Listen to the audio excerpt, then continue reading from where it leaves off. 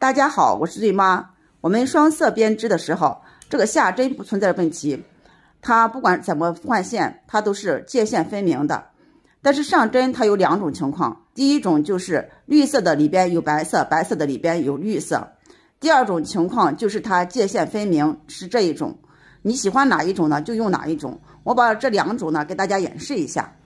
我们首先看这第一种，绿色里边有白色，白色里边有绿色，它是怎么织的？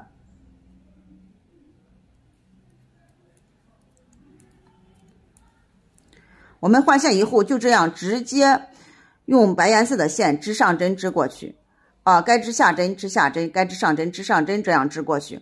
你看，这样织完以后呢，它就是白色里边呢有绿色，绿色里边呢有白色。现在我们看一下第二种情况，第二种情况就是绿色和白色界限分明。我指的是上针这一块儿，上针这一块怎么织呢？首先，我们从正面织一行下针，就是把。这个上针这一块呢织下针，下针这一块正常还是织下针。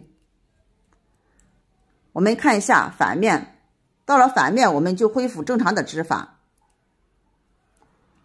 两个上针，这两个上针就是正面的这两个下针，然后接下来是四个上针从正面看，那么我们就从背面呢把这四针织下针，这样就恢复到了原来的针法。